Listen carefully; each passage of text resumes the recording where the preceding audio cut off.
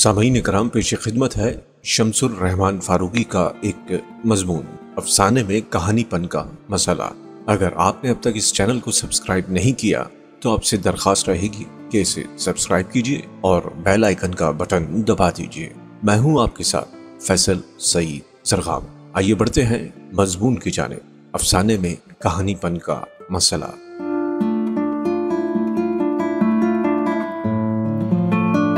अगर किसी अफसाने में कहानीपन हो तो क्या वो अफसाना दिलचस्प हो जाता है?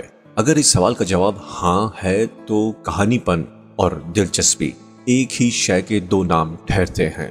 या अगर वो एक ही शय नहीं तो लाजिम और मलजूम ज़रूर बन जाते हैं। अगर इस सवाल का जवाब नहीं में है तो ये कहना मुमकिन हो जाता है कि अफसाना कहानीपन के बावजूद गैर दिलचस्प हो सकता है। इसकी दूसरी शक्ल ये भी है कि अफसाना गैर दिलचस्प भी हो सकता है, यानी दिलचस्प होना अफसाने की शर्त नहीं है। इसकी तीसरी शक्ल यह है कि ज़रूरी नहीं कि हर दिलचस्प चीज़ अफसाना हो। ये तमाम मुकदमात इसलिए बन सके हैं कि हमारे पहले सवाल, कि अगर किसी अफसाने में कहानीपन हो तो क्या वो अफसाना दिलचस्प हो जाता है? उसका जवाब नफी में दिया गया है। लेकिन क्या नफी में जवाब मुमकिन है? इस आखिरी सवाल पर गौर करने से पहले चंद बातों का हदुल इम्कान तस्फिया ज़रूरी है। मसलन ये ज़रूरी है कि अफसाना, कहानीपन और दिलचस्प इन असलाहत की तारीफ़ मुतन कर ली जाए। आसानी के लिए अफसाने को फिक्शन के मायने में रखिए, क्योंकि नावल और अफसाना तख्लीकी और इजहारी एतबार से एक ही सिंफ है। और अगर फिक्शन की तारीफ़ या हदबंदी हो सके तो हम इसे नावल और अफसाना दोनों के लिए काम में ला सकेंगे। फिक्शन के बारे में सबसे आसान बात यह है कि फिक्शन उन तमाम तरह के अफसानों से अलग होता है, जिनका ताल्लुक कम बेश जबानी बयान से है। लिहाजा दास्तान, अवामी कहानियाँ फेबल्स बच्चों की कहानियाँ फेरी टेल्स ये फिक्शन नहीं है।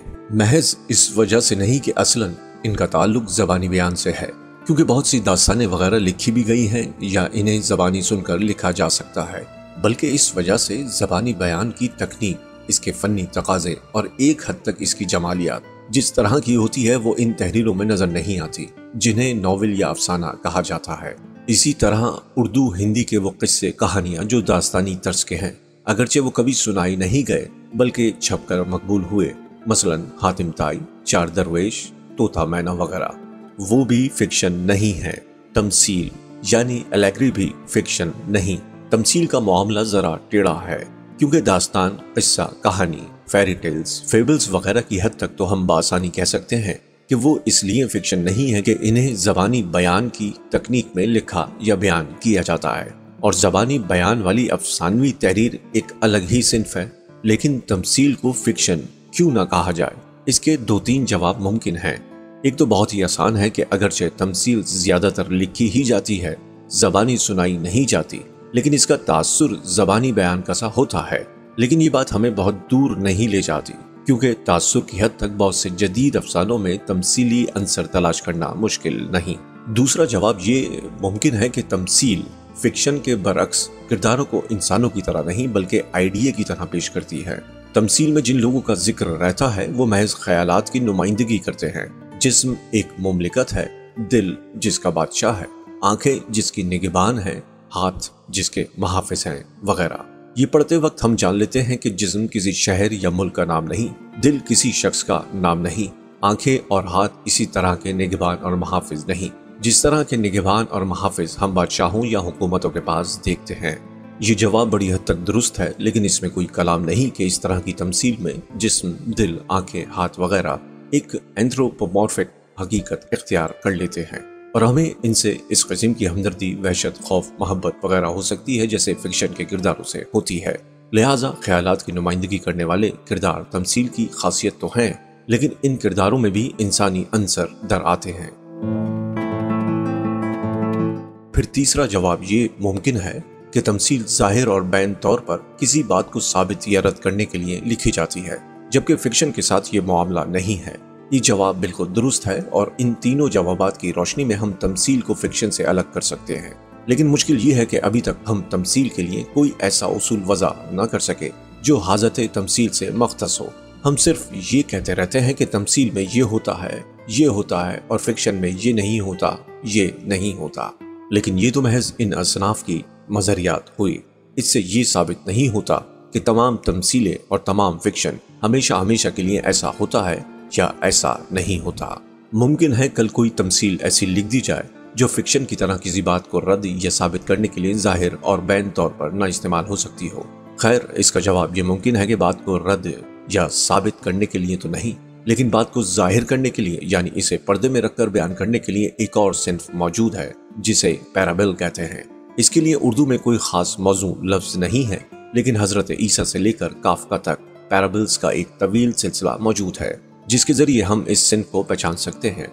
फ़िलहाल हम पैराबल को तमसीली कहानी कहकर काम चला सकते हैं। इस तरह हम ये कह सकते हैं कि वो अफसानवी तहरीर जो किसी बात को पर्दे में रखकर बयान करने के लिए लिखी जाए, पैराबल कहलाएगी।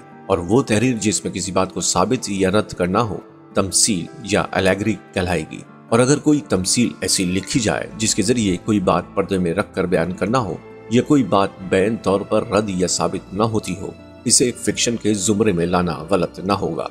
यानी पैराबल की सिंफ का मौजूद होना हमें इतमान दिलाता है कि तमसील का तफाउल हर तरह मुतन है और इसे इसका वसफ़ ज़ादी कह सकते हैं। जब तमसील का रुझान फिक्शन की तरफ़ होता है तो वो पैराबल बन जाती है। लिहाजा फिक्शन वो तहरीर है जिसमें जबानी बयान का अंसर तो बिल्कुल ना हो या बहुत कम हो। नंबर दो, जिसके ज़रिए किसी बात को बैन तौर पर साबित या रद्द न किया जाता हो और नंबर तीन, जिसके किरदारों में कोई ऐसी बात हो जिसकी बिना पर हम इनसे इंसानी जज्बात के दायरे में रहकर मामला कर सके। फिर बयान से क्या मुराद है? क्या बयान ही फिक्शन का कहानीपन है? या कहानीपन वो वसीला है जिससे बयान वजूद में आता है? ज़ाहिर है कि बयान को फिक्शन का कहानीपन नहीं कह सकते, क्योंकि बयान में कहानी शामिल होती भी है और नहीं भी होती।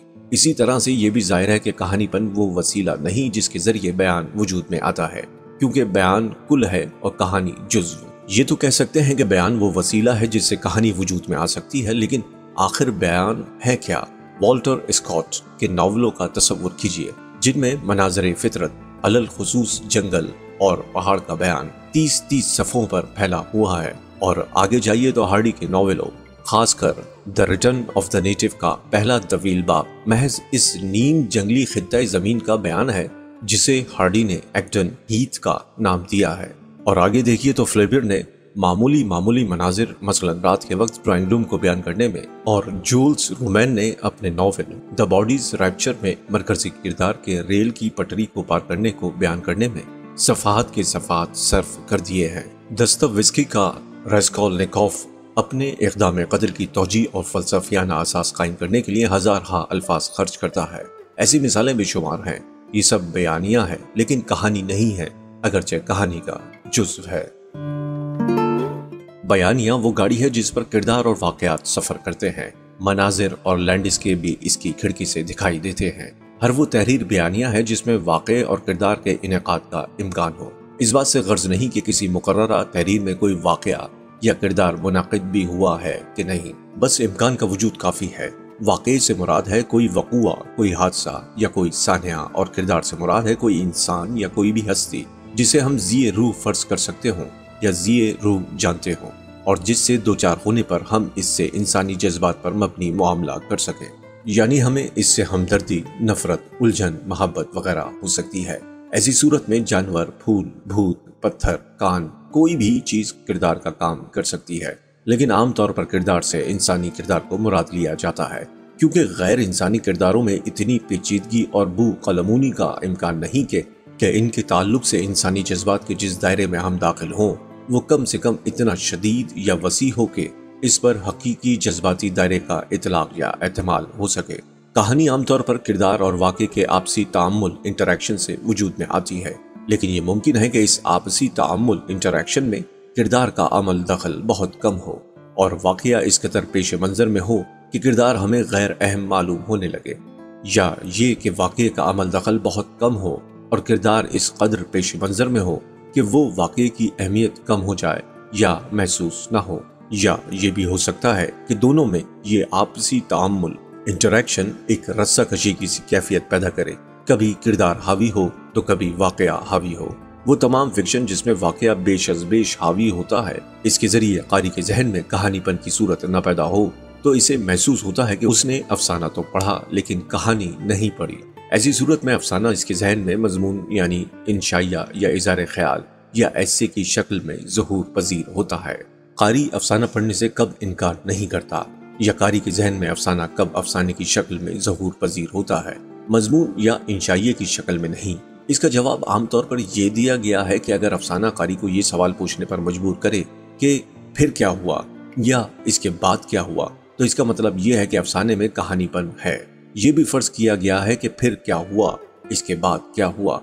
जैसे सवालात उठने का मतलब यह है कि अफसाने की कहानी को सीधी सीधी लकीर की तरतीब से चलना चाहिए और कारी का ये सवाल पूछने पर मजबूर होना कि फिर क्या हुआ, इसके बाद क्या हुआ, कारी की दिलचस्पी की दलील है। लिहाजा कहानीपन और दिलचस्पी एक ही शय है। इस माने में कि दिलचस्पी दरअसल कहानीपन का तफाउल है। लेकिन अफसाने की तारीख का मुताला हमें बताता है कि मामला इतना आसान नहीं है। मैं पहले अर्ज़ कर चुका हूँ कि फिक्शन और गैर फिक्शन, यानी बयानिया फन के हामिल गैर फिक्शन।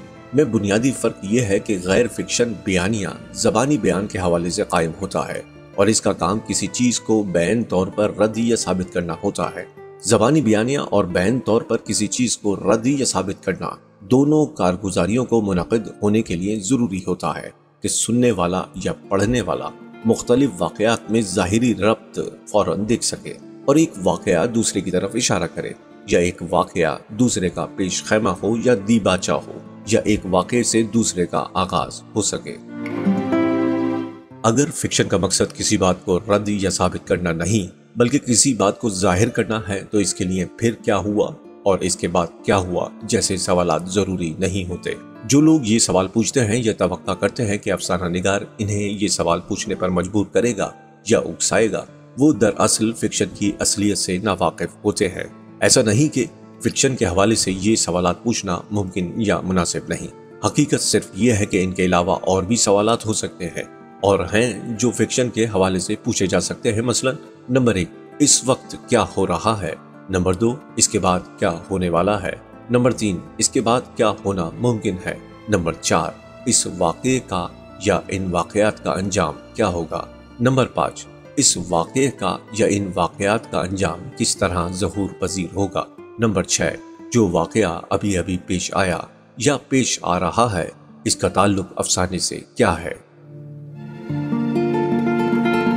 मंदरजा बाला सवालत या इनमें से किसी सवाल का उठाना इस बात की दलील है कि कारी और अफसाने के दरमियान कोई रिश्ता कायम हो गया है।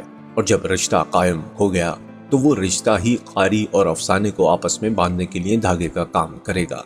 इस रिश्ते को दिलचस्पी का रिश्ता कह सकते हैं, लेकिन दिलचस्पी एक ऐसी सूरत हाल है जो फिर क्या हुआ, इसके बाद क्या हुआ, और मंदरजा बाला साथ में से किसी भी सवाल के उठने के बावजूद मादूम रह सकती है। क्योंकि दिलचस्पी का ताल्लुक बुनियादी तौर पर इस बात से है कि कारी और अफसाने के दरमियान फ़िक्र और तामुल केयर का ताल्लुक कायम हुआ कि नहीं। यानी अफसाने में पेश आने वाले वाकयात या वो किरदार जिन पर वाकयात गुजर रहे हैं, अगर कारी को फ़िक्र में मुबतला नहीं करते, अगर वो इनके हाल और मुस्तबिल के बारे में फिक्रमंद नहीं है तो वो फिर क्या हुआ का जवाब ये देगा, मुझसे क्या मतलब? मुझे क्या फ़िक्र करनी चाहिए? यानी आई कुडन केयर लेस मिसाल के तौर पर जासूसी नावलों या आम सतह पर मकबूल नावलों, मसलन गुलशन नंदा के नावलों को लीजिए। इनमें वाकयात का आपसी रब्त मामूल से ज़्यादा होता है, लेकिन इनमें वो दिलचस्पी बिल्कुल नहीं होती जो किसी अदबी फिक्शन में होती है, बल्कि अफसाने की जिस कारी के हवाले से हम कहानी के आगे बढ़ने या कहानी के बारे में फिक्रमंद होने का मसला उठा रहे हैं। वो सीधी लकीर में बढ़ने वाले कदम कदम पर फिर क्या हुआ, पूछने पर मजबूर कर देने वाले अफसाने को अक्सर गैर दिलचस्प कर देता है। इसकी वजह यह है कि ऐसा अफसाना इसे फिक्रमंद नहीं करता। यानी इसके किरदार और वाकयात और कारी के दरमियान इंसानी लगाव का रिश्ता नहीं कायम होता। इंसानी लगाव का रिश्ता दिलचस्पी के रिश्ते से मावरा और ज़्यादा कुतमंद होता है। दूसरी किस्म का लगाव जो अफसाना निगार कायम करता है, वो उन सवालों के ज़रिए कायम होता है, जिनका ताल्लुक अफसाने के फन से है। यानी वो सवाल जो मेरी फहरिस्त में नंबर चार, नंबर पाँच, नंबर छह और नंबर सात पर है। अफसाना गोई, अफसाना निगारी, जब एक इंसानी अमल है और अफसाना एक इंसानी सनात है और इसमें एक मखसूस फन का इजहार होता है, जिसका असल तफाउल बयानिया के ज़रिए किसी बात को ज़ाहिर करना है। तो ज़ाहिर है, इसमें कारी को एक इंसानी लगाव ज़रूर पैदा होगा। यानी ये कि आखिर इस अफसाने और इस वाक़े में क्या ताल्लुक है? ये वाकयात हमें कहाँ ले जा रहे हैं? इस अफसाने को किस तरह ख़त्म किया जा सकता है? इस सूरत हाल का अंजाम क्या होगा? इंसानी लगाव की आखिरी और सबसे ज़्यादा आम शक्ल इस सवाल की सूरत में ज़ाहिर होती है जो मेरी फहरिस्त में नंबर एक पर है। यानी इस वक्त क्या हो रहा है? इस सवाल की मानवीयत उस वक्त ज़ाहिर होगी जब हम दिलचस्पी को तजस्स का मुरादिफ न समझें। अफसाने की तनकीद और नए अफसाने के मुताले में गलत मुबहस इसलिए पैदा हुआ है कि लोग तजस्स और दिलचस्पी को एक ही चीज़ समझते हैं। दरअसल, दिलचस्पी जो कहानीपन का तफाउल है फिक्रमंदी और लगाव के ज़रिए ज़ाहिर होती है। हवाई जहाज़ को रनवे पर दौड़ते हुए देखकर हम इसलिए नहीं रुक जाते कि हमें तजस्स होता है कि अब क्या होने वाला है, बल्कि इसलिए कि हमें इस मंजर ही से एक लगाव है। हम ये तो जानते हैं कि जहाज़ पूरी रफ्तार पर आकर अचानक हवा में बुलंद हो जाएगा, लेकिन फिर भी हम इस मंजर को देखने के लिए रुके रहते हैं, क्योंकि हमें इससे एक इंसानी लगाव है, जो हमारी फिक्रमंदी की अलामत है। लिहाजा अफसाने में कहानीपन का मसला ये नहीं कि अफसाना दिलचस्प या तजस अंगेज क्यों नहीं है, बल्कि ये कि हमें इंसानी लगाव और फिक्रमंदी क्यों कम है। या अफसाना हमारे इस लगाव और फिक्रमंदी को बरंगेख्त क्यों नहीं करता? जमाने कदीम से लेकर अब तक पढ़ने और सुनने वाले इस बात पर मुतफिक मालूम होते हैं कि प्लॉट का तनवो इतना अहम नहीं है जितना वाकयात का तनवो अहम है। किस्सों और कहानियों के प्लाट आमतौर पर फार्मूले की शक्ल में बयान किए जा सकते हैं। इस सिलसिले में रूसी और पोलिस्तानी कहानियों और किस्सों पर जो काम किया गया है, उसकी रोशनी में तकरीबन किसी भी मुल्क या जबान के किस्से कहानियों का फार्मूला दरियाफ्त किया जा सकता है। नॉवलों और अफसानों के प्लॉट भी फार्मूले में ढाले जा सकते हैं, लेकिन इस फ़र्क के साथ कि अगर किस्सा कहानियों के लिए एक फार्मूले से काम चल सकता है तो नॉवलों और अफसानों के लिए मुतद फार्मूलों की ज़रूरत होगी। फिर भी अफसानों और नावलों के मजमू फार्मूलों की तादाद दस बारह से मुतजाविज शायद न हो।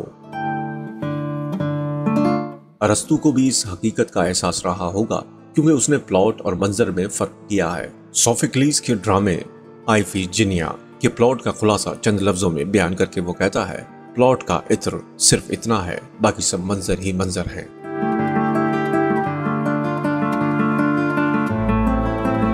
प्लॉट के तनवो से ज़्यादा वाकयात का तनवो अहम है।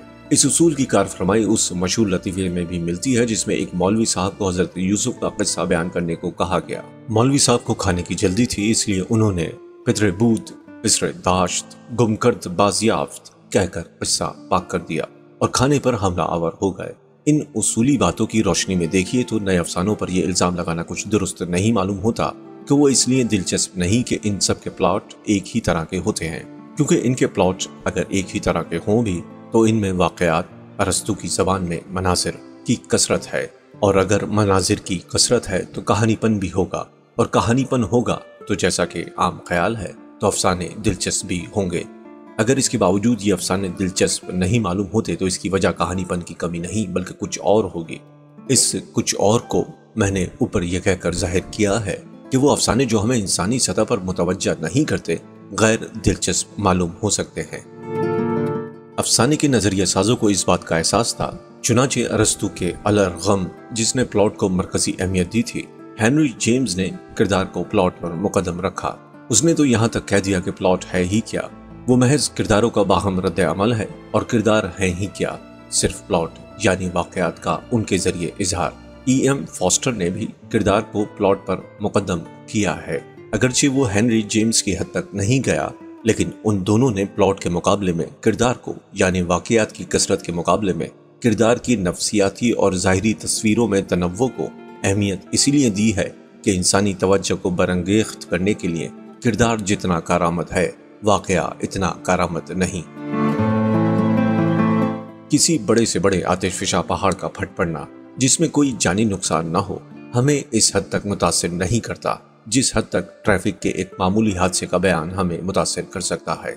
अगर इसमें कोई इंसान बराह रास्त मुतासर हुआ हो, खासकर ऐसा इंसान जिससे हमें कोई जाती ताल्लुक था, जल्दी जल्दी बदलने वाले मंजरों और वाकयात पर मुश्तमिल अफसाना, जिसमें मरकजी किरदार जगह जगह घूमता है और वाकयात से दो चार होता है, उसको पिकरेस्क अफसाना कहते हैं। वो भी इसलिए हमें मुतासर करता है कि इसका मरकजी किरदार हमारी तवज्जो का मरकज रहता है और हमारा इसका एक जाती ताल्लुक कायम हो जाता है। कृष्ण चंद्र ने दो फरलांग लंबी सड़क में इसी तकनीक को जदीद रंग में इस्तेमाल किया है और एक गधे की सरगुजश्त तमाम कमाल पिकर एक्स तकनीक में है।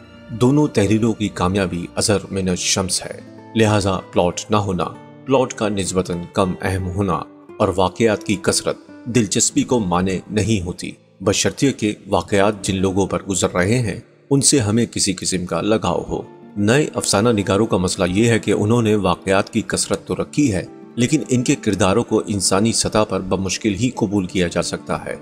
उन्होंने प्लॉट को मनहदम करने पर इस कदर तवज्जा सर्व की है कि वो इस बात को भूल गए कि वाकयात की कसरत फ़ी नफ से ही तवज्जा अंगेज नहीं होती, यानी वाकयात की कसरत में फ़ी नफ से ही कहानीपन नहीं होता। वो कहते हैं, और बिल्कुल दुरुस्त कहते हैं, कि तजस्स पैदा करना कारी को ये सवाल पूछने पर मजबूर कर देना है। कि फिर क्या हुआ या अब क्या होगा? हमारा काम नहीं। उनका ये कहना भी दुरुस्त है कि इन चीज़ों के बगैर भी अफसाने में कहानीपन पैदा हो सकता है। लेकिन इनसे गलती ये हुई कि उन्होंने तजस्स की अदम मौजूदगी से पैदा होने वाले खला को भरने के लिए मुनासिब कार्रवाई नहीं की है। मिसाल के तौर पर मजाहिया तहरीरों को लीजिए। इनकी दो किस्में हैं। एक तो वो, जैसे शौकत थानवी का स्वदेशी रेल, और पितरस का सवेरे जो कल आँख मेरी खुली। जिनके दिलचस्प होने की एक वजह यह भी है कि हमको ये तजस्स रहता है कि अब क्या होगा। इम्तियाज़ अली ताज के चचा छक्कन वाले अफसानों की भी यही कैफियत है। लेकिन मजाहिया तहरीरों की एक दूसरी किस्म भी है। इनमें हमारा तजस बिल्कुल कार फरमा नहीं होता। मुश्ताक अहमद यूसफी की अक्सर तहरीरें और मुशतबा हुसैन की शख्सियाती खाके इस जुमरे में हैं। लेकिन ये तहरीरें भी दिलचस्प हैं क्योंकि इनमें तजस की अदम मौजूदगी से पैदा होने वाला खला लतीफ़ों, खंदावर, जुमलों चुपते हुए फिक्रों वगैरह से पुर किया जाता है। ये तहरीरें हमारे लिए इस वजह से दिलचस्प है कि हम सोचते हैं, देखें मजमून निगार अब कौन सा नुकता निकालता है। अब कौन शख्स या साहिब खाका शख्स का कौन सा पहलू इसकी फिक्रबाजी का हदफ बनता है। अब कौन सी बात में किस तरह की बात निकलती है। इसी तरह नए अफसानों में भी कारी किसी न किसी नए पहलू, चाहे वो वाकयात का हो या किरदार का, मुंतजर रहता है। अगर इसका इंतज़ार कभी पूरा न हो तो उसे मायूसी होती है। वाकयात का नयापन उस वक्त तक ही मौसर होता है। जब तक वो किरदार जिनके ज़रिए या जिनके ऊपर वो वाकयात पेश आ रहे हैं, हमारी तवज्जो को बाँध सके। आम ख्याल के बरक्स, फहश या उरिया अफसाने थोड़ी देर के बाद इंतहाई गैर दिलचस्प हो जाते हैं। क्योंकि बकौल जॉर्ज स्टाइनर, वही चौसठ या बहत्तर आसन ही तो हैं जिनका ज़िक्र हेर फेर कर किया जाता है। फिर उनमें दिलचस्पी बरकरार रहे तो क्यों कर? हिंदी वालों ने अपने अफसाने को बालिग, जदीद और तवज्जांगेज बनाने के लिए फहाशी का सहारा लिया था। लेकिन चंद ही दिनों में दिलचस्पी की कलई उतर गई और लोगों ने देख लिया कि वाकयात में नयापन या वाकयात की कसरत लामोहाला दिलचस्पी की जामिन नहीं होती। हमारे अफसाना निगार हिंदी वालों से ज़्यादा समझदार हैं, इसलिए उन्होंने ये झगड़ा ही नहीं पाला। गंदगी और उफूनत को इस्तेमाल करने की बाज कोशिशें हुई हैं। मसलन अहमद, हमीश और कमर एहसन के बाज अफसानों में। लेकिन इन कोशिशों का भी दायरा मुस्तहसन हद तक मुख्तर रहा है। यानी अहमद अमीश या कमर एहसन के चंद ही अफसाने गंदगी और उफूनत को बरतते हैं। लिहाजा उर्दू का अफसाना निगार पूरी होशमंदी के साथ अपनी तहरीर को दिलचस्प बनाने के लिए कोशा रहा है। लेकिन वो जानता है कि तहरीर को दिलचस्प बनाने के साथ साथ इसे नया भी बनाना है। मुश्किल ये है कि नएपन और दिलचस्पी दोनों के बैक वक्त हसूल के लिए किरदार निगारी के मुरवजा तरीकों से इनहराफ करना पड़ता है और नए तरीके अभी पूरी तरह गिरफ्त में नहीं आए हैं। लेकिन मैं नए अफसाने से मायूस हरगिज नहीं हूँ, बल्कि इसका खैर मकदम करता हूँ। इस शिकस्त रीख्त का भी, जो नए को पुराने से अलग करने के लिए और बिलाखिर नए को कायम करने के लिए ज़रूरी है। सामीन कराम अभी आप सुन रहे थे शमसुर रहमान फारूकी का मजमून अफसाने में कहानी बन का मसला। इनशाला फिर कभी किसी वीडियो में किसी पोस्ट पर आपसे मुलाकात होगी। तब तक अपना बिनतहा ख्याल रखिए।